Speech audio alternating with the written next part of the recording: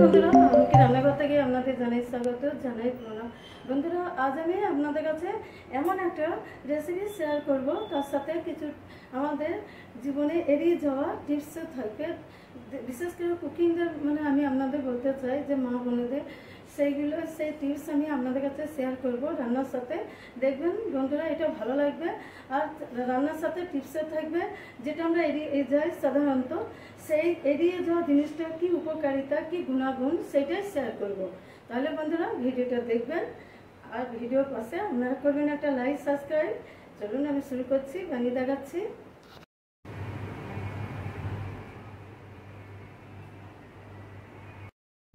বন্ধুরা, আমি প্রথমে শেয়ার করছি। আপনারা ভাববেন যে ম্যাঙ্গো দিয়ে কি ডাল হয়? এই কাঁচা আম দিয়ে ডাল কত টক? কিন্তু না বন্ধুরা, দেখুন আমি আমার রান্নাঘরে আজ আমি শেয়ার করব যে ম্যাঙ্গো ডাল কীভাবে হয়। দেখুন বন্ধুরা, এই দুটোই তো মানে উপকারিতা। এটা হচ্ছে ভিটামিন সি আমটা, আর এটা ডালটা তো প্রোটিন সব ডালই প্রোটিন কিন্তু এই দুটো আমি কীভাবে বানাবো? প্রথম থেকে লাস্ট পর্যন্ত ভিডিওটা দেখবেন। প্লিজ মন দিয়ে। আর খেতেও কেমন লাগবে সেটাও আমি বলব। বললাম আমি দু পিস আলু আমি ছিলে নেব, চোখা বানাবো।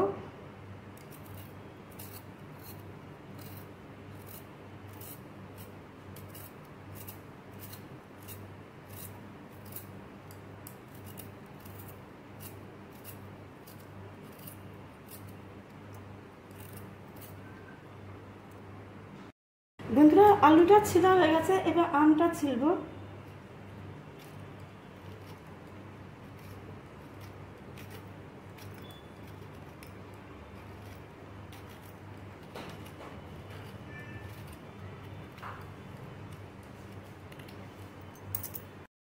বন্ধুরা, দেখুন, আম, আলু ছিলা হয়ে গেছে, এবার কেটে নেব। নিয়েছি একটা পাত্রে জল এবার এই জলের মধ্যে আমি আলুগুলো আমি কেটে নেব। দেখুন, দু পিস করে নিলাম। এবার জলের মধ্যে দিয়ে দিলাম, ধুয়ে নেব। বন্ধুরা, আমটা মাঝখানে আর একটা চিরা লাগাবো। এরকমভাবে আমগুলো চিড়ে নেবেন। এবারে এইগুলো আলাদা আলাদা করে ছেঁকে নেব।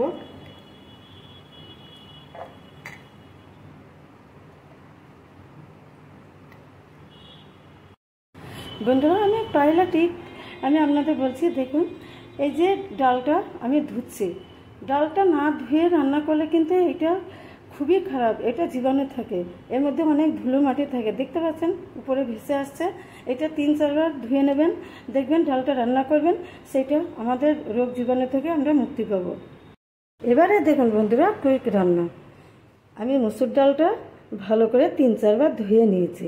এবার ডালটা আমি কুকারের মধ্যে দিয়ে দেবো। ডালের পরিমাণটা দেড়শো গ্রাম। এবারে এর সাথে দিয়ে দেবো দেখুন আলু। যে আলুগুলো আমি কেটে ধুয়ে রেখেছি, সেই আলুগুলো দিয়ে দিলাম। দিয়ে দেবো চার পিস কাঁচা লঙ্কা। এখন আমি হাফ চামচ মতো লবণ দিয়ে দিলাম। এবারে দিয়ে দেবো হাফ চামচ মতো হলুদ। আর সামান্য দিয়ে দেবো চিলি পাউডার। এবারে দিয়ে দেবো পরিমাণ মতো জল। বন্ধুরা দেখুন, এই আন্দাজে জলটা দিয়ে দেবেন। জেলে নিয়েছে, এবারে একটা সিটি লাগিয়ে নেব। এটা মুসুর ডাল, খুব একটা সিটি লাগানোর দরকার নাই। কুকারের ঢাকনাটা খুলে নিয়েছি, এবার দেখাবো ডালটা দেখ এরকমভাবে সিদ্ধ করে নেবেন। এর মধ্যে কিছুটা আমি জল দিয়েছি, আর আলুটা দেখুন সিদ্ধ হয়ে গেছে, দেখতে পাচ্ছেন, মাঝখানে ফেটে গেছে। দেখুন বন্ধুরা, আলুটা দেখতে পাচ্ছেন, এই দেখুন আমি ভেঙেও দেখাচ্ছি। কুইক রান্না, দেখুন, চট জলদি সিদ্ধ করে নিলাম। গ্যাস জেলে আমি গামলাটা বসিয়ে দিয়েছি।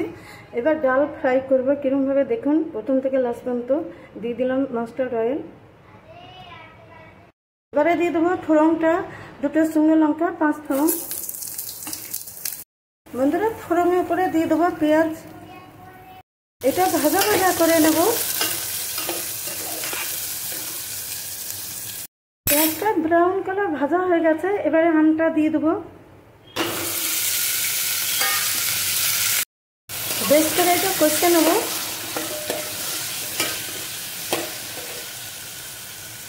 ঢাকা দিয়েছিলাম, ঢাকাটা খুলে নিলাম। দেখুন বন্ধুরা, আম থেকে অনেকটা জল বেরিয়েছে। এর উপরে দিয়ে দেবো red chilli powder yellow powder আমি আপনাদের দেখাবো, দেখুন, তেল আর জল, আমটা সিদ্ধ হয়ে গেছে। এবারে এর উপরে আমি দিয়ে দেবো এর উপরে দিয়ে দেবো ডালটা। একটু আমি জল দিয়ে পাতলা করে নিয়েছি। এটা এরকমভাবে বানালে টেস্টি লাগবে। এবারে এটা ভালো করে মিক্স করব।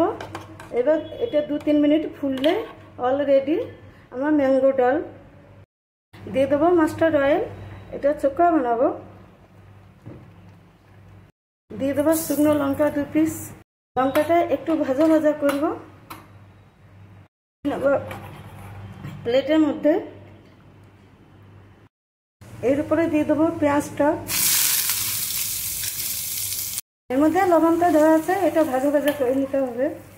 এক ছিটে লবণ দিয়ে লঙ্কাটা মুড়ে নেব, ভেঙে নেব এরকমভাবে এইদিকে দেখুন আমার ডালটা কমপ্লিট বন্ধুরা, এরকমভাবে ডালটা, টক ডালটা আপনারা এরকমভাবে বানিয়ে নেবেন। দেখুন, আমার পেঁয়াজটা ফ্রাই হয়ে গেছে, এবারে এর মধ্যে দিয়ে দিলাম। চোকাতে স্বাদ মতো লবণ দিয়ে দিলাম।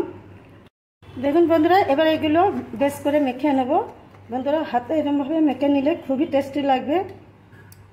অল কমপ্লিট বন্ধুরা, দেখুন চোকাটা মাখা হয়ে গেছে। মানে একদিকে চোকা এবার ডালটাও আমি এর মধ্যে প্লেটের মধ্যে নিয়ে নেব সার্ভিং প্লেটের মধ্যে। দেখুন, একদম আম আর ডাল একসাথে মিশে গেছে।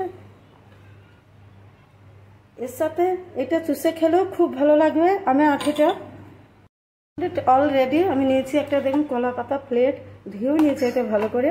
আর দেখুন, ডালটা আমি সার্ভিং বাটিতেও নিয়ে নিয়েছি, ওইদিকে চোকা আর এক বাটি ভাত নিয়েছি, দেখুন। এই ভাতের সাথে এটা একদম জমে যাবে।